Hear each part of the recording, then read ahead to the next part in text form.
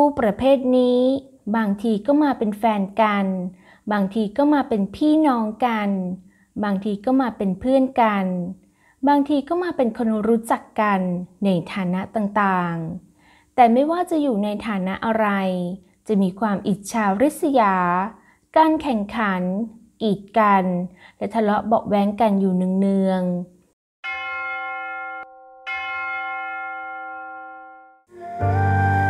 วัสดีค่ะคุณผู้ชมคุณผู้ฟังทุกท่าน วันนี้อรัญญาจะมาอ่านธรรมะสอนใจ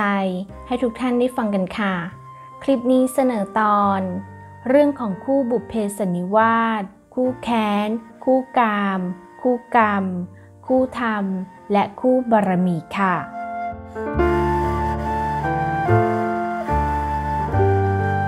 เรื่องของคู่บุพเพสนิวาสนั้นนะคะ หลาย ๆ ท่านคงจะมีคำถามที่ว่า เราทุกคนนั้นเกิดมาต้องมีคู่หรือไม่ เนื่องจากความสับสนในความสัมพันธ์ และความสัมสนของบุคคล ผู้ที่ไม่ได้มีคู่แท้ถาวรทำให้เกิดคู่ประเภทต่างๆ มาผัวพันกับชีวิต ประกอบกับคู่ถาวรของบุคคล ที่มีคู่บารมี หรือคู่ธรรม จึงทำให้จำแนกประเภทคู่ต่างๆ ออกมาได้ 5 ประเภท คือ 1. คู่กัดหรือคู่แค้น 2. คู่กาม 3. คู่กรรม 4. คู่ธรรม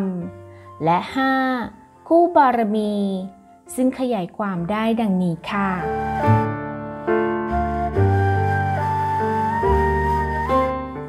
1. คู่กัดหรือคู่แค้น คือผู้ที่ผูกใจเจ็บ อาฆาตพยาบาท หรือสาบแช่งกันไว้ คู่ประเภทนี้ บางทีก็มาเป็นแฟนกัน บางทีก็มาเป็นพี่น้องกัน บางทีก็มาเป็นเพื่อนกัน บางทีก็มาเป็นคนรู้จักกันในฐานะต่างๆ แต่ไม่ว่าจะอยู่ในฐานะอะไร จะมีความอิจฉาริษยา การแข่งขัน กีดกัน และทะเลาะเบาแว้งกันอยู่เนืองๆเช่น คู่พระพุทธเจ้ากับพระเทวทัต คู่ประเภทนี้จะมีประโยชน์ประการเดียว คือ ช่วยให้เราได้ฝึกความดี ในท่ามกลางความชั่ว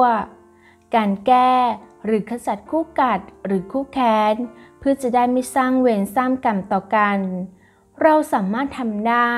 โดยต่างฝ่าย ต่างสำนึกถึงภัยของพยาบาท ที่จะทำลายความสุขและเป็นทุกข์ทั้งคู่ แล้วก็ละพยาบาท ถอนคำอาฆาตเสีย ขออภัย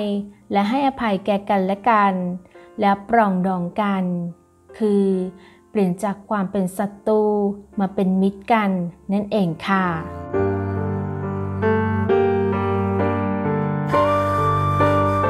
2. คู่กามคือคู่ที่มีกรรมสัมพันธ์กัน แบบสักแต่ว่าเสพกามกันไป ไม่มีเจตนาผูกพัน หรือเจตนาร่วมชีวิตกัน การมีคู่ประเภทนี้ อาจเกิดได้โดยกิจกรรม เช่น การเที่ยวโสเพณี หรือพวกฟรีเซ็กทั้งหลาย คู่ประเภทนี้เมื่อเจอกันอีกในชาติใด ๆ ก็ตาม ก็จะมีใจกระสันเข้าหากัน แต่ไม่มีบุญหรือบาปรองรับ จึงไม่มีความสัมพันธ์ต่อเนื่อง และมักเป็นคู่ที่เข้ามารบกวน หรือทำลายความสัมพันธ์ของคู่ที่แท้จริงเป็นระยะ ในลักษณะของคู่สัมพันธ์ รูปแบบต่างๆ ซึ่งบางทีเป็นเหตุให้สูญเสียคู่ที่แท้จริงไป หรือแม้ไม่สูญเสียไป ก็ทำให้อยู่กันอย่างไม่มีความสุข วิธีลดกรรมและแก้ไขเพื่อไม่ให้ชีวิตมีปัญหา ก็ควรละคู่กรรมเสีย ตัดให้พ้นไปจากชีวิตค่ะ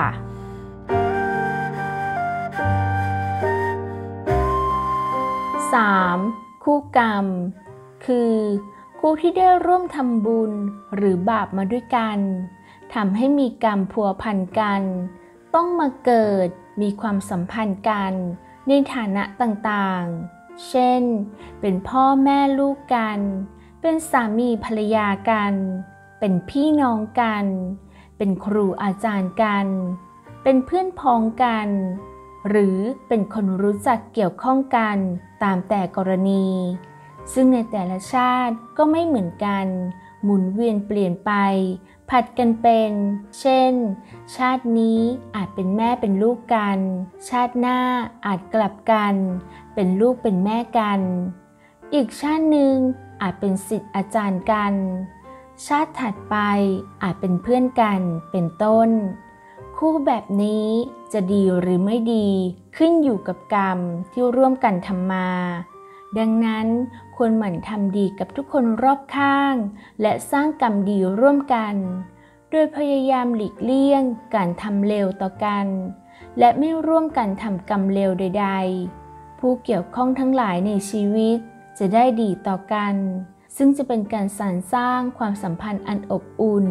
มั่นคงให้เกิดขึ้นได้ค่ะ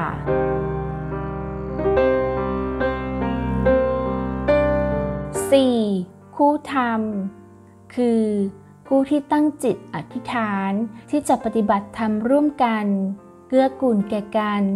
ซึ่งบางชาติอาจเกิดมาเป็นเพื่อนกัน บางชาติอาจเป็นพี่น้องกัน บางชาติอาจเป็นพ่อแม่ลูกกัน บางชาติอาจเป็นอาจารย์กับศิษย์ บางชาติอาจเป็นสามีภรรยากัน เป็นต้น ถ้าเป็นสามีภรรยากันก็จะมีความเป็นกันเอง เสมือนเพื่อนมากกว่า จะเป็นสามีภรรยาทั่วไป และบางคู่แต่งงานกันแล้ว ก็ไม่เสร็จกรรมกันเลย อยู่กันเป็นเพื่อน ปฏิบัติธรรมกันไป ซึ่งเป็นความสัมพันธ์ที่สะอาด คู่ประเภทนี้จะสนิทใจ และไว้วางใจซึ่งกันและกันอย่างมาก ไม่ทำร้ายทำลาย หรือเรียกร้องอะไรจากกัน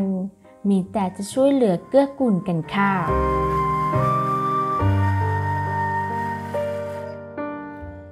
5. คู่บารมี คือ คู่ที่อธิษฐาน